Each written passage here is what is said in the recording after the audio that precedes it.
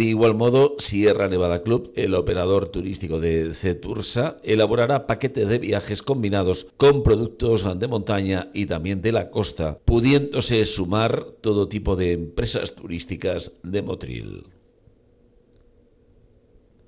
La alcaldesa de la localidad de Almuñécar, junto con la titular del tour operator ruso NT Incoming Natalie Tours, han firmado un acuerdo para potenciar la llegada de turistas de países del este al municipio sexitano.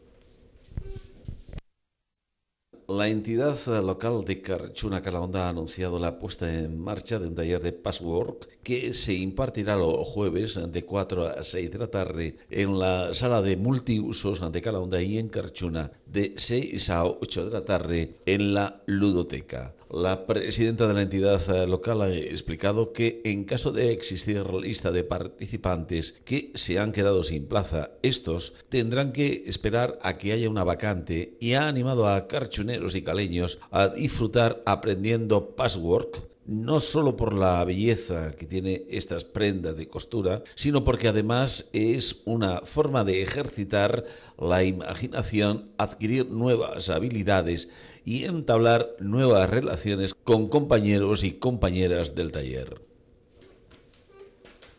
Este viernes, día 20 de enero, un grupo de motrileños van a disfrutar de un viaje cultural a Granada organizado por la Concejalía de Acción Social del Ayuntamiento de Motril. Dentro del programa previsto van a visitar la Alhambra y el Museo de Caja Granada, una buena oportunidad para quienes no conozcan o quieran volver a ver uno de los monumentos de mayor relevancia en nuestro país como lo es el conjunto nazarí.